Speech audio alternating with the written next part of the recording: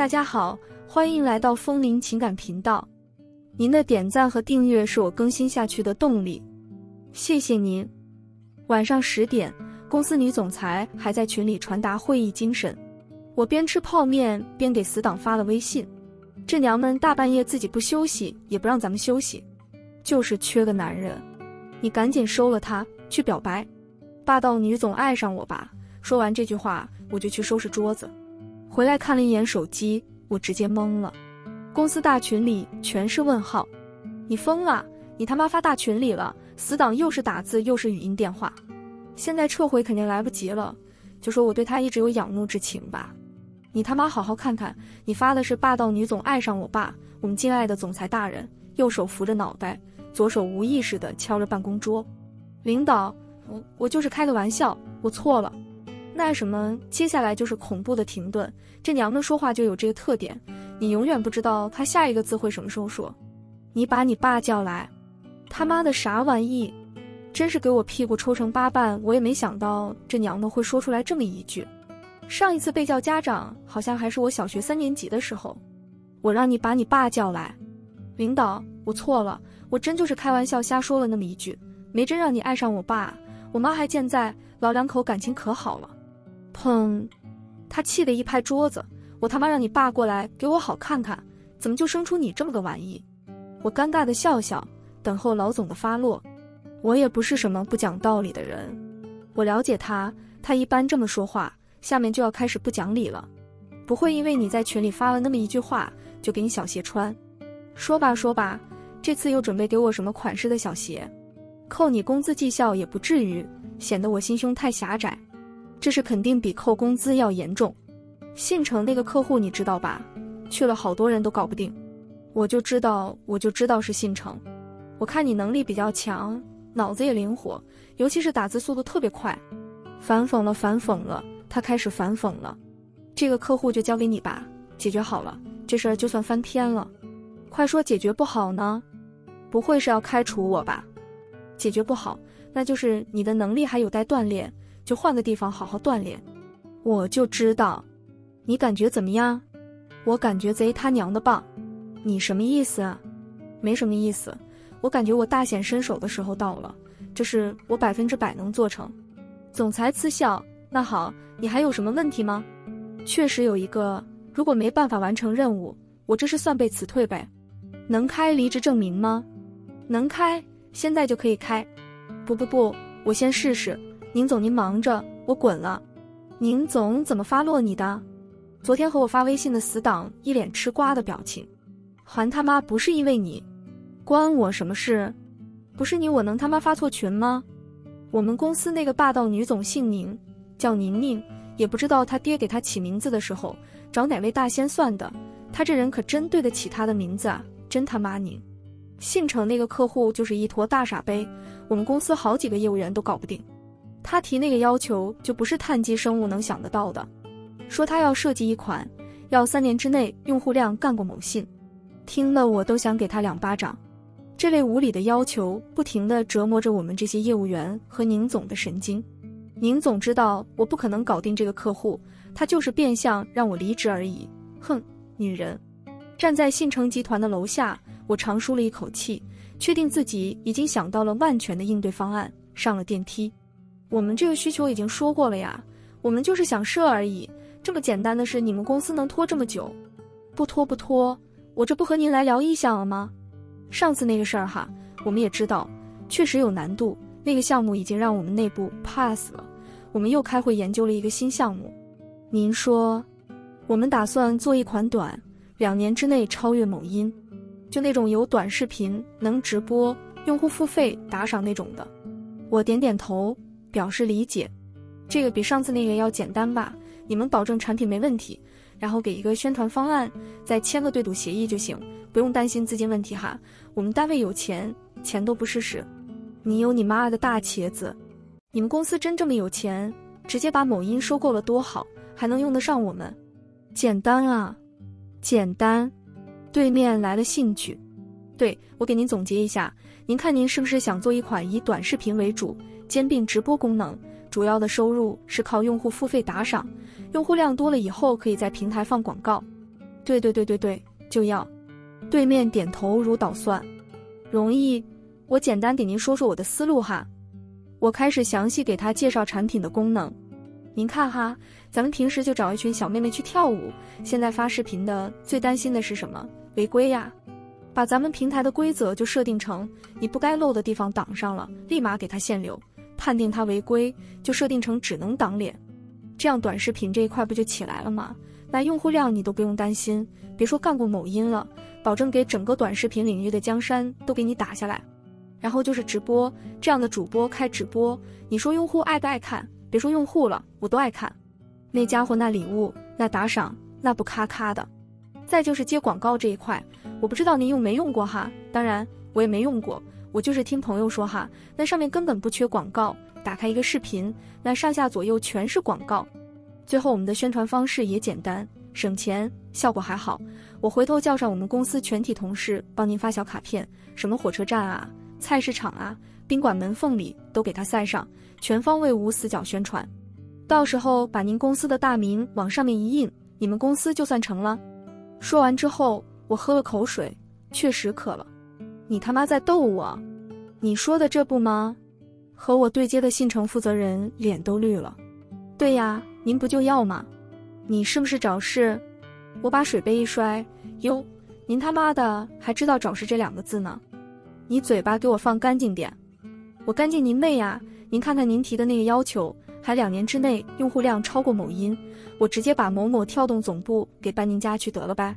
也不知道您家到底是个什么传统，怎么生孩子把孩子扔了，把胎盘留下来养着？我看您发育的有点缓慢啊，小时候掉茅坑里把老人腌入味了吧？保安，保安，你也别叫保安了，我自己走。就您这样的客户，小心打个哈欠，把自己家的大厦给炸了。以后多喝牛奶补脑，少吹牛逼伤身。再您妈个贱！从信诚的总部出来，我长出了一口气，好他妈痛快！这孙子公司，我早就想骂了。回去和宁总交差吧，爱他妈咋地就咋地，反正他都想开了我，滚蛋之前必须得让自己痛快一回。到了公司，宁总正接电话呢，表情比较丰富，时而皱眉。时而惊讶，时而憋笑，时而惆怅，看样子是接的信诚那边的电话。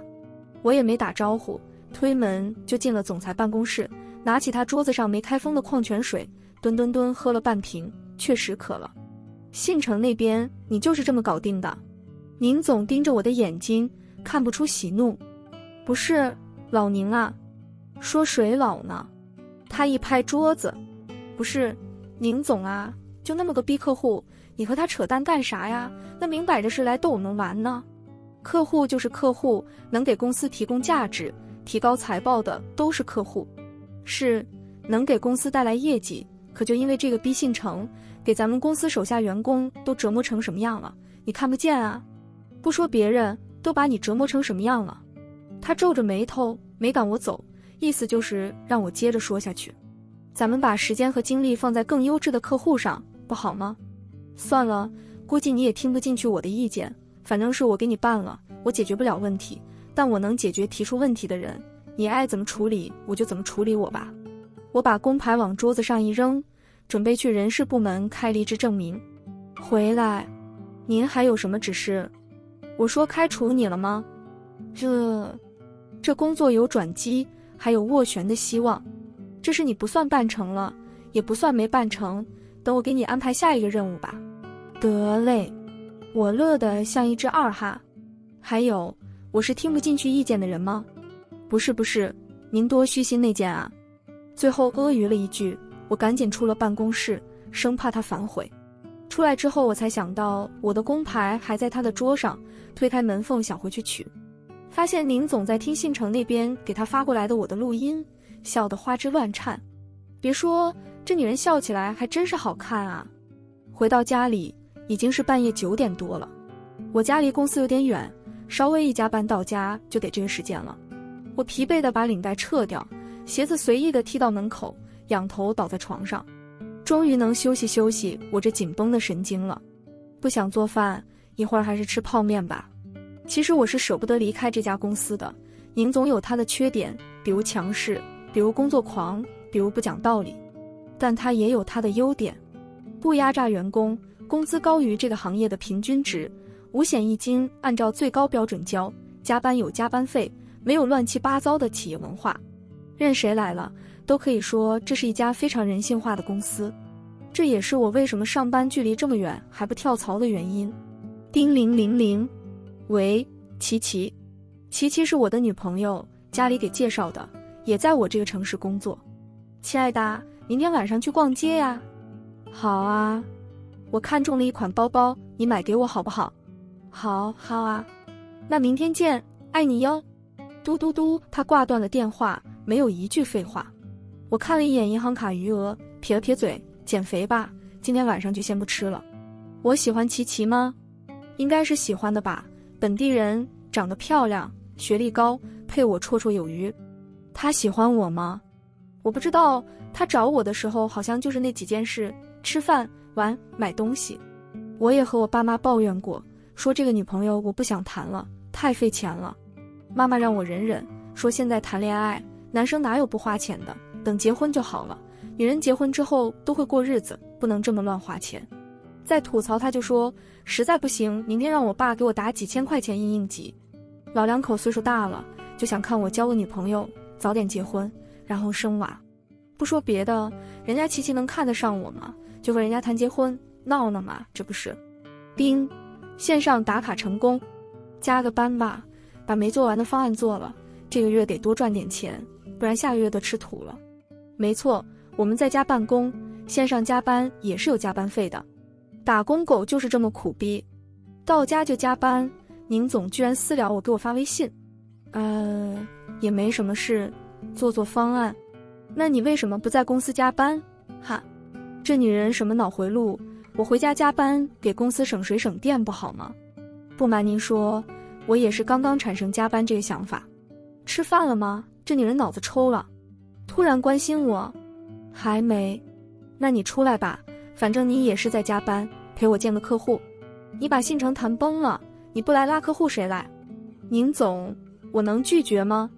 都是女客户，发地址酒桌上，我举杯四顾心茫然啊。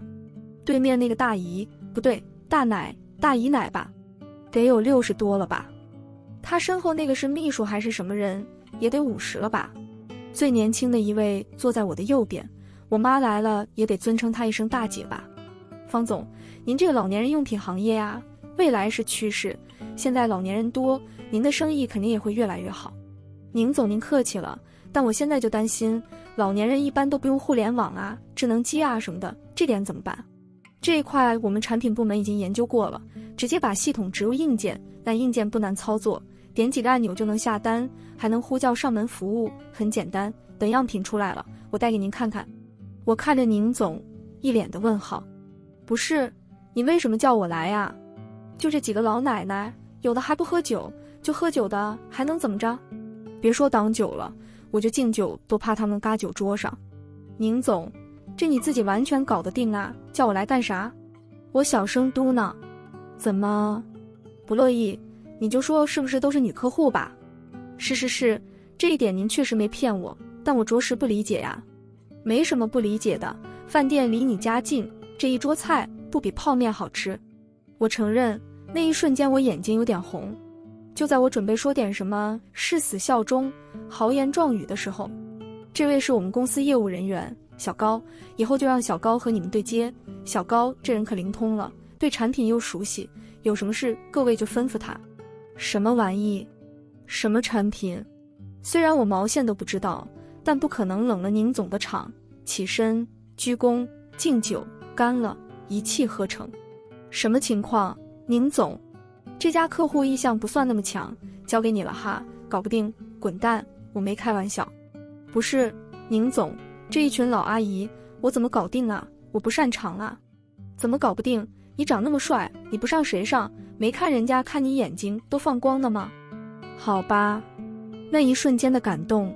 荡然无存，你奶奶的！你别叫宁总了，你叫杂种吧。这是让我牺牲色相拉客户，和客户对接了之后，才发现宁总当时应该是和我在开玩笑。这家客户宁总已经谈的差不多了，就差产品讲解这一块了，而这一块确实是我的业务。客户也不是在意我的色相，看重的还是我有没有专业能力。那天他真的就是叫我出来吃饭而已，感动是感动，但这娘们确实没有放过我的意思，把公司所有不好搞定的、费脑子的、费心神的客户全都交到我手里了。我天天一个头两个大，看见宁总都得躲着走。你什么时候下班？快了，快了，回公司简单做表就可以了。你那什么破工作，都十点了还不下班，这不是赚钱吗？再说了，有加班费的，多赚钱好娶你。那边沉默了一会儿，我呸，谁说要嫁给你了？你有房子吗？彩礼准备好了吗？我爸可说了。必须市中心一百平方米以上的房子，全款啊！我家可是配送一辆奥迪 A7 呢。好了好了，我知道了，我手机没电了，你早点叫叫，回头聊。挂了电话，看着缓缓驶来的末班车，叹了口气。公交车灯闪烁的一瞬间，天空飘起了小雨，没空感叹这雨夜的浪漫，也没空悲哀雨中人的凄凉，只恨自己为什么出门没带伞。到了公司，灯居然还亮着。我擦，我们公司可没有什么加班文化，除非是万不得已活没干完，不然谁能在这熬到这么晚？不会是进小偷了吧？我蹑手蹑脚的进了公司，发现亮灯的是宁总的办公室，门开着，可能他也不会想到这个点会有人回公司来吧。既然他在，刚好做个汇报，也让这娘们看看老子为了公司都奉献到什么程度了。宁总不知道在给谁打着电话。言辞很激烈，这情况我肯定是不敢进去的。我就在阴影里等他打完。我什么意思？你他妈什么意思？什么叫我不适合开公司？我公司怎么了？我养活那么多人，哪一个跟着我吃苦了？我呀，我吃苦呢呀！我他妈可吃了大苦了。我听不到对方说什么，只能听着宁总的咆哮，心里接着话：我的事不用你管，你的破事我也不管，你的钱爱给谁给谁。我也不管你要，咱俩什么事？你有本事就把咱俩的事儿曝光出去，你看看是我丢脸还是你丢脸？这是和谁吵架呢？这怎么听着越来越不对呢？我擦，赶紧撤吧！这事我可不敢听啊！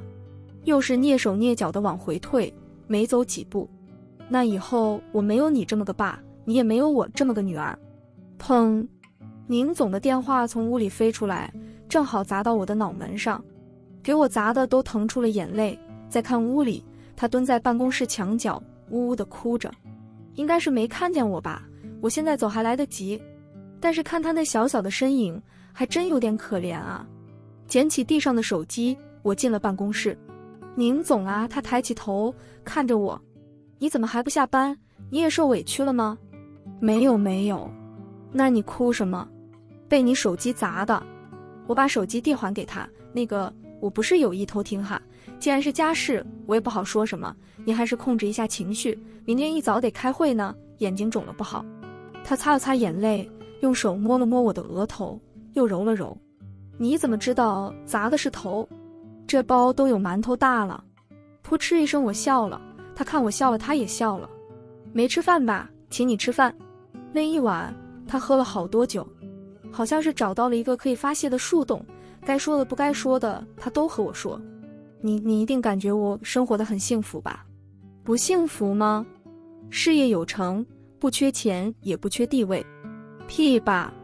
他家里确实有钱，他有公司，他爸爸有公司，他哥哥也有公司，妥妥的上层人士。但是他爸爸不希望他做生意，就想他安安稳稳找个门当户对的人嫁了。他不服气。什么年代了？凭什么女人就不能做生意？凭什么以后就得他哥哥继承产业？她是一个要强的女人，就想着把我们的公司经营起来，给他爸看看，证明一下女人也是可以搞事业的。但他的阻力非常大，他哥哥的公司经常拆他的台，他爸爸也有意无意的排挤他，经常给我们公司使绊子，导致我们公司现在也不温不火的。有钱人的世界我不懂，我就感觉。不愁吃不愁喝，有着好几辈子都花不完的钱，为什么还要这么拼呢？躺在家里啃老不幸福吗？你你是不是感觉我有病？有点，我就知道没人会理解我，所有人都不理解我。唉，我实在是不知道应该说什么。我要是有他这么多钱，也不会被琪琪看不起了吧？宁总，你喝多了，我送你回去吧。我扶着他出了饭店，在马路边上拦车。哎，这是不是你们落下的包啊？我回头一看，服务员手里拿着宁总的黑色包包，我赶忙过去接。这一松手，宁总迷迷糊糊地走向马路。一辆黑色轿车，不知道是没看见还是怎么着，丝毫没有减速的意思，直直的撞向宁总。小心！我激了一下，肾上腺素疯狂分泌，想要把宁总拉回来。我躺在地上，痛苦的捂着胳膊。宁总也醒了酒，哭着问我没事吧？当时情况太紧急了，来不及拉回宁总，最后关头我只能推他一把。那司机也是一打方向盘把我撞了，还好。宁总没事，我也没有大事，就是胳膊断了。撞人那个也查清楚了，酒驾，没有那些乱七八糟的阴谋。在家休息了三个月，这三个月，琪琪没有过来看我一次，只是给我打了两个电话，说着彩礼和房子的事儿。反倒是宁总来看了我几回，看我生活不方便，给我买了很多东西。来了也不待太长的时间，都是聊半个小时左右他就走。除了工作。他也会和我聊聊他家里的情况。让我意外的是，他会经常问我这个外人的意见。我哥的公司就那个九龙集团，现在把咱们这限制的很死。阳谋就是价格战，产品和配套服务和咱们差不多，价格低了四成。我知道他只是和我抱怨抱怨，这是我也没办法。他公司底子更足，老爸还会偷偷摸摸的支持他，就是想要赔钱也把我们拖垮。我皱了皱眉头，宁总啊，他们的意思是不是就想让我们公司破产啊？对，那为什么要等待破产？咱们自己倒闭还不行吗？什么意思？宁总一脸懵逼的看着我。我发现你把自己绕进去了。宁总，我问你，你开这个公司的目的是为了什么？是为了赚钱吗？那肯定不是，我又不缺钱，我就是想让我爸认可我。对呀，认可这个是。不一定只有把公司做好这一条路吧？那还有什么？还可以把九龙集团做破产啊？这不是难度更大？九龙集团现在做成一单大概亏多少钱？宁总笑了，这女人真聪明，一点就透。宁总联系了所有的人脉和资源，还有我们公司所有的业务人员都在做一件事，就是给九龙集团介绍客户。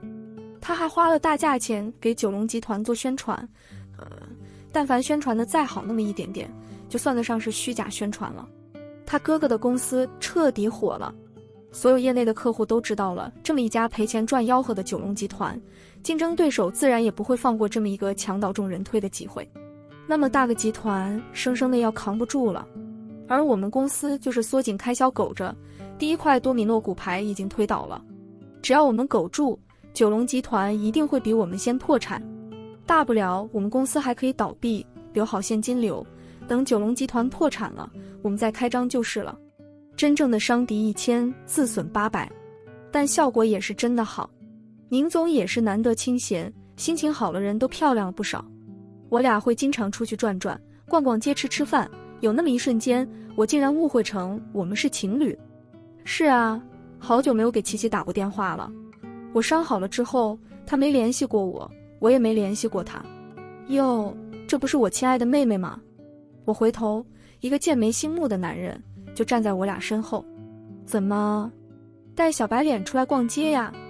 你说什么呢你？宁总指着那人的鼻子，那人没看宁总，看向我。我叫宁征，你怎么称呼？就是这孙子一直欺负宁总啊。你好，我叫宁爸爸。扑哧，宁宁笑了。转念一想，不对，我这一句同样也占了他的便宜，狠狠地掐了我一下。小崽子，口条挺溜啊！我妹妹那个猪脑袋肯定想不出给我介绍客户那一招，你想的？对，就是你爷爷我想的。宁宁又踹了我一脚。大姐，要不你去那边转转呢？你在这我实在是不方便占他便宜啊。宁宁没再理我。宁征，你想干什么？没干什么。碰巧遇到，没想到你还养了个口活这么好的小白脸，我要回家和爸爸好好说说。你别瞎说啊！我正想着怎么能撕烂这孙子这张臭嘴呢。高山，你怎么在这？我回头一看，是琪琪。我我陪领导，呃，逛个街。这句话说出来，怎么听怎么别扭。你是不是当我傻呀？琪琪直接把包甩到我的脸上，我没躲过，脸被抽了一下，红红的一道印子。你小心点，他伤刚好。宁宁怒视琪琪，呦呦呦，你个当小三的敢这么骂原配，你还真勇敢啊！你说谁是小三？宁宁都要急哭了。高山。你就是不要脸！你家什么破逼条件你没数吗？我能和你交往都是你上辈子积德，你还出轨，你就不是男人！你全家被车撞死！你他妈说什么？一声怒吼吓住了琪琪，你他哭着跑开了。对，对不起呀，宁宁和我道歉，没事，这事不怪你。我摇摇头，一拳轰在宁真脸上，但是他妈的怪你！还好我的伤好了。不然还真不一定能打得过那孙子。宁征有钱是有钱，街头斗殴的事他肯定没有我有经验。富家公子打架一般都是让小弟动手吧。很遗憾，我以前就是经常帮别人动手的小弟。这孙子被我揍得像难产的猴子一样嗷嗷叫。遗憾的是，我揍得正爽的时候，警察来了，拘留。宁宁过来看我，对不起啊，宁征不同意调解，说就让你在拘留所里面待着。没事，不就十五天吗？很快就过去了。对不起，都怪我，和你有什么关系？不知道为什么，他看着我那张都是胡茬的脸，哭了。可能是他被这样保护的经历不多吧。哎，你别哭啊！我说，我出去了之后，你可不能开除我呀，那就太不够意思了。不开除，不开除。他捂着嘴，没再说什么，离开了。十五天，其实他妈也挺难熬。但放出去的时候，我表现的还挺乐观，宁宁应该是看不出来。当天晚上，宁宁又喝了好多酒，我也喝了好多酒。他和我抱怨着他家里那群死脑筋的亲人，还说一定要做出个样子来给他们看，得到所有人的认可。这孩子从小是多缺爱呀，执念到这个程度。我拍着他的肩膀安慰他：别人认不认可你我不知道，我肯定是认可你了。你这娘们，呃，姐妹能处。他醉着说：“好，有人认可他就好。”他趴桌子上睡着了，看着他的脸，不知道为什么，我想起了琪琪。我知道，我这回和琪琪是一点希望也没有了，也挺好，一个人真挺好的。回头就和我妈说，不他妈结婚了，一个人就不能过了，还是怎么着？宁宁又喝多了，比上次还多。这回我可长记性了，看了好几次没落东西，背着他离开了饭店。路上我问了好几次他家在哪里，他什么也说不出来。无奈之下，只能把他送到宾馆，把他安顿好了之后，我就回家了。第二天醒了，一看手机，给我弹出了当天热搜：景浩知名公司女总裁和男下属酒店开房，男方疑似出轨。景浩热搜配了几张图，就是我背着宁宁的图片，真就是开局一张图，内容全靠编。把我和宁宁写的辗转缠绵，有声有色。张老师说的对呀，这个专业果然不能学。现在这些个无良媒体，为了流量脸都不要了。气氛是气氛，事情还得解决。宁宁不大不小，也算是个总裁，这是闹大了，对她的名声影响太大了。人家一个女人，名声没了以后可怎么办？就在我想办法的时候，手机又给我弹出来了好几条热搜信息。宁宁用公司的官方号辟谣了。说我和他昨天只是吃了个饭，他喝多了，我送他去酒店而已。当天我们两个人并没有睡在一起，酒店前台可以作证。我当晚就离开了，而且我并没有出轨这件事，因为我本来就是她的男朋友。你看看这解释的多好，我还在这巴巴想对策呢，人家都给解决了。不是我擦，我什么时候成她男朋友了？再次见面的时候，宁宁的脸一直红着，低着头不敢看我。你发烧了？没，她呢喃着，声音很小。不是，你咋说我是你男朋友？那种事越描越黑，解释是没有用的。我就后面的话我就听不清了。行吧，男朋友就男朋友吧，反正我也不吃亏。我准备离开办公室，他又把我叫住。那个真是单纯为了应对舆论，我我没别的意思。他的脸更红了。没事。有别的意思也没事。刚走到办公区，同事们又惊讶又兴奋，看着我的眼神里有热烈，有佩服，有羡慕，有不解。想问我又不敢问，死党可不管那个事，悄咪咪的来到我的工位。卧槽了，你真爷们啊！说给收了就给收了。不是，我刚想解释一下，转念又想到，我解释了他也不能信啊。收了收了，赶紧忙你的去吧，再废话扣你工资。接下来的几天，公司同事对我的态度明显变化了好多。进电梯会主动帮我按按钮，工作累了会帮我打水，订奶茶会给我带一杯。别说这种狐假虎威的感觉还真爽啊！宁宁对我没有什么太大的变化，还是把最难搞定的那批客户交给我。我还是抱着一贯的工作态度，解决不了问题就解决提出问题的人。这个傻逼客户又大半夜十一点给我发微信：“小高啊，我感觉你这一版方案还是不太行啊，要不辛苦你再改改。这脑残就是没事找事。”那你感觉这六版方案哪一版相对更好一些？我感觉第四版更好一点。我笑了，傻杯，第四版、第五版、第六版都他妈是一样的，连个标点符号都没改，你看没看啊？你这是什么工作态度？猪宝宝，你喝多了吧？我不是你们单位的员工，我什么工作态度不用你管。你想装奋斗给你们领导看，我不拦着，别折腾我行不行？你们公司就是这么服务客户的。我们服务客户，不服务绝户。老子睡觉了，有事明上班了说。群里还有其他同事，还有宁总。宁宁睡没睡我不知道，其他同事可是炸了锅，纷纷发来私信表示我对的漂亮。这客户就是无缘无故折腾人，他们早就不爽了。然后有人告诉我，客户连续发了十多条的六十秒语音，还连续圈了宁总好几次。我回他们不用管，就当没看见，出了事我担着。在一声声总裁老公霸气的评价里，我进入了梦乡。第二天打开手机一看，宁总回复了，我感觉小高说的对，然后就解散了那个群。我到了公司，受到了前所未有的赞叹。高哥行啊，我们都是被客户折磨，你这直接折磨客户啊，这搞定了。总裁就是不一样，身板都硬气了。是啊是啊，我们遇到点麻烦都是说服领导。高哥，你这直接说服领导啊！我摆摆手，告诉他们别闹。我知道我自己的斤两，估计宁宁也是被那个客户折磨烦了，才对他一句，并不意味着我真就是她的男朋友。这些话让他听着了，我吃不了兜着走。叮咚，手机又收到了一条消息：今天晚上我去你那里取我的东西，是琪琪发来的。我看着他收拾着自己的衣物用品，其实他并不经常来我这里住。没想到还是有这么多东西，好多都是我给他买的，包装还没有拆。我帮你送到楼下吧，用不着。他提了两次没有成功之后，我还是帮他拎了下去。你现在行了，傍上富婆以后好好伺候着，别得罪了主子。我知道他是看到了那条热搜。我走之前，咱俩算算，算什么？我记得我帮你垫付了三个月房租吧。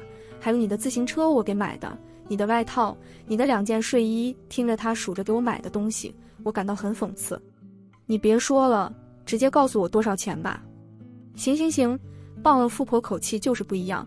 一共十万，给钱吧。哪里有这么多？他一撇嘴，怎么，精神损失费不算啊？别忘了，这可是你先出轨，我和你在一起的时间不值钱啊。更何况咱俩还你俩上床，你都管他要钱啊？你是出来卖的吗？我一回头，不知道什么时候宁宁就站在我的身后，不知道为什么看见他我想哭。宁宁搂着我的肩膀，这个你看不起的男人，我看上了，以后别来骚扰我老公，拿着你的东西滚！贱人，别以为你有几个臭钱就了不起，我有钱我当然了不起了，难道像你这样分手要泡费的才了不起？你说谁呢？说你呢，不服气你报警吧，你就是个骚货。我说的。宁宁说这句话的时候，扬着嘴角，刘海随着微风一荡一荡的，很帅。我管他要钱，有你这个小三什么事？宁宁大步走向琪琪，她比琪琪高半头，俯视着琪琪，像是俯视着一个乞丐。我知道你的想法，你无非就是想让我说，你开个价要多少钱我出吗？